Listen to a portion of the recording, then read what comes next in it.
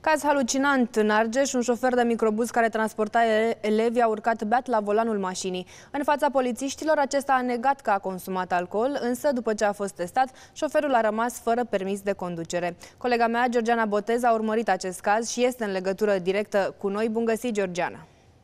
Bună seara, Corina, bună seara tuturor. Șoferul de microbuz școlar a fost prins vineri dimineață de polițiști, băut la volan în localitatea Bradu din Argeș.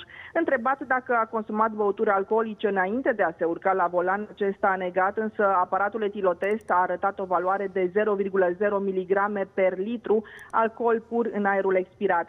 Bărbatul transporta mai mulți elevi cu microbuzul școlii când a fost oprit de oamenii legii. După ce au verificat actele, agenții de la rutieră au observat că inspecția tehnică periodică a mașinii era expirată, așa că șoferul s-a ales cu mai multe sancțiuni. Odată a rămas fără permisul de conducere pentru următoarele 90 de zile și are de achitat o amendă de câteva zeci de mii de lei, apoi certificatul de înmatriculare al microbuzului a fost retras până când se va face dovada remedierii problemelor tehnice.